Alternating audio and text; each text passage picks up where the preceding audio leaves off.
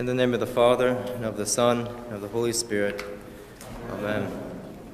Tonight we are beginning our homily series on the prayer of St. Ephrem the Syrian. It begins, O Lord and Master of my life. We have a God, we have a Master, and we have a life, and we are meant to do good with that life.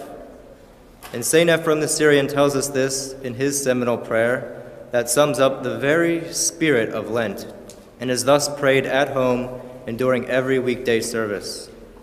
It begins, O Lord and Master of my life, and it goes on to ask God to remove from us certain vices and to grant us certain virtues. That first line, though, O Lord and Master of my life, really sets up the right orientation for all of our prayer. It is how we should begin every single day. Much like beginning a prayer with, In the name of the Father, or how the Lord's Prayer begins, Our Father who art in heaven, St. Ephrem directs us to He who is the center and the focal point of our life, right from the beginning. And I suspect that he does this not only to remind us who it is that we are doing all of this for, but also because calling Jesus our Lord and the Master of our lives is a truly humbling statement. And with this comes the humbling act of prostrating, literally lowering ourselves before Jesus three times during this prayer, demonstrating his lordship. But of course, we already knew all of this. If I had passed around a survey asking you, Who is the Lord and Master? we all, I hope, would have answered Jesus.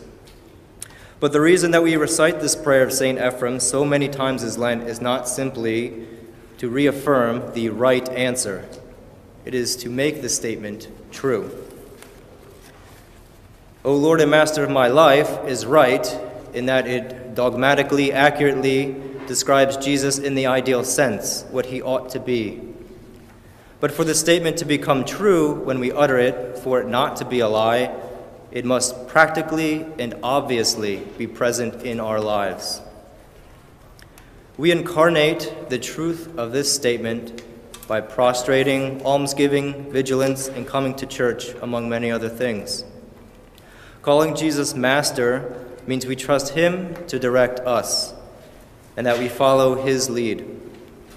It isn't enough for us to do what we want and then to pray that it hopefully aligns with God's will. We must first seek God and ask, What should I do? Where should I go? Too often, we see ourselves as the masters of our own destiny, making the final call on what school to attend, what job to take, where to move, what to eat, when to retire, and so on. We see ourselves as being so intelligent, so rational, and so uninfluenced. But for me, as I pretend to be the demagogue of my own destiny, I ask myself, what has it really profited me? I have certain material comforts, but if I actually gave up trying to control my own life, what would I really lose? And it is not even really possible for someone to be the master of their own life. I am not the master of my own life, but rather I'm a slave to fear. I'm afraid that unless I take total control, I will be unable to pay my rent or to have food to eat or have peers that respect me. My life is so fatted with comfort and convenience that I fear loosening my grip, if even slightly, will cause it all to collapse. And in thinking that I even have that much power, I'm also a slave to my pride. I am afraid that I might even become like the downtrodden people that I'm supposed to have compassion for. But supposing, though, that I did find myself among the needy because I gave away too much, because I trusted too much in God, if I gave up all these material things, these so called landmarks of maturity, of adulthood, and of progress, if I gave up even just a tenth of it, instead of loss, I would actually have so much more to gain. I would have things to gain that are unseen by most people. But do you really believe that's true? that the greatest pain in letting go of control is simply our pride, and that the greatest gain for us would be a comfort and a love that we've never experienced. St. Nikolai of Ohrid, writing in the prologue, urges us to be more confiding in the Lord than in your own mother.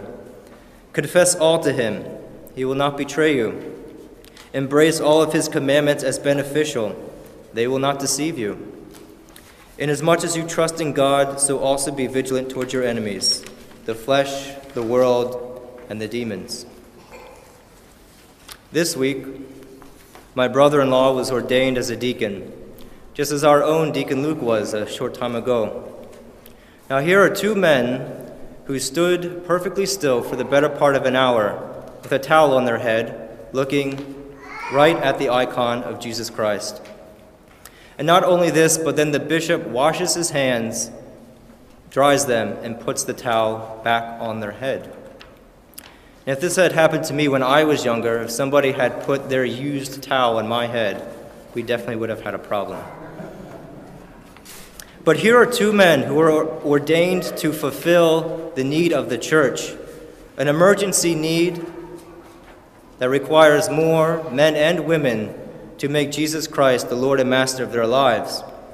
And it's not just for our own sake, but it is for the sake of everybody else especially all of those that live separated from the life of God. These two men and their families have dedicated themselves to give everything they have to glorify his name.